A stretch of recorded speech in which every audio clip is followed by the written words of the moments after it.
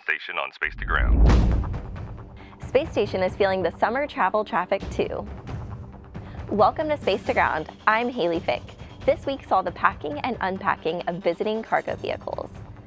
Like back-to-back vacations or a big summertime move, the space station crew is spending their days unpacking and repacking too. More than three tons of supplies arrived aboard the Progress Russian cargo ship on June 16th, but someone has to unpack all of those and store them in the correct areas of the space station. Likewise, the Dragon cargo craft that arrived on June 5th is due to disembark on July 2nd. After offloading science experiments, spacewalking gear, and station hardware, it is now being loaded with used station gear and research samples for analysis upon its return to Earth. One of the deliveries from the SpaceX Dragon cargo vehicle was the Rollout Solar Array, or ROSA. After being extracted from Dragon's trunk by the Canadarm2 robotic arm, ROSA was put to the test in the summer sun outside of Space Station on June 18th. The flexible solar array that rolls out like a tape measure or a party horn could offer substantial cost savings and increased power compared to current bulky heavy panels.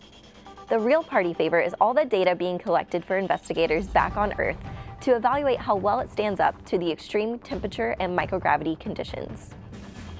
This week's question comes from Ava in Miss Robolata's fifth grade class. She wants to know what tests are going on at the ISS. Amongst all the materials, life sciences, and technology research being conducted on station, there's one big test that might get you and me closer to a vacation in space. The Bigelow Expandable Activity Module, or BEAM, is an experimental habitat that's been attached to space station since May 2016.